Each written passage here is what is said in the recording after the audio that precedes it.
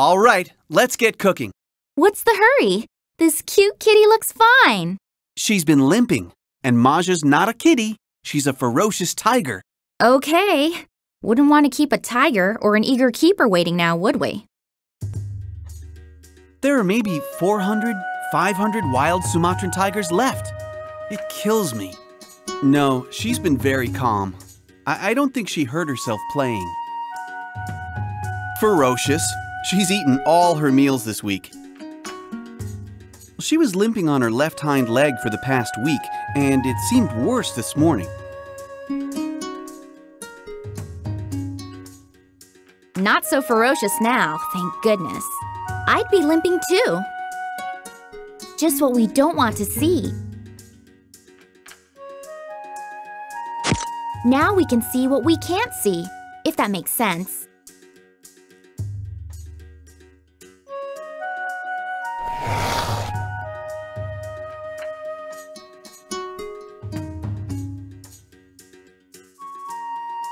There we go.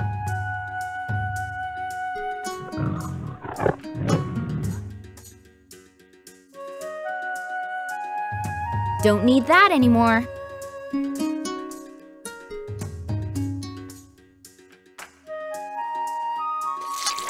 That gets rid of some of our worries.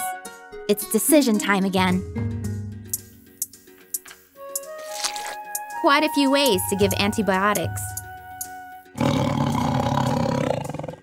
What should we give her? No infection yet, and now there won't be. Sumatran tigers are as small as they get.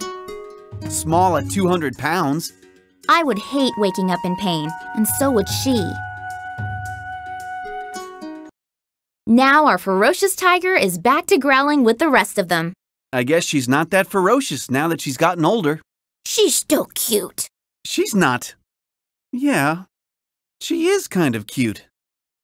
Maja's claws had grown too long, and one had grown into the pad under her foot. Older cats may not scratch on logs as often as they should to keep their claws trimmed to prevent this problem. If Andrew hadn't noticed it, the claw would have grown until it touched the foot bones, leading to severe infection. With trimmed claws, she should stop limping in a few days. You identified the problem and gave the appropriate diagnosis. Nice work. You have a perfect understanding of this patient's history. You covered every step with panache.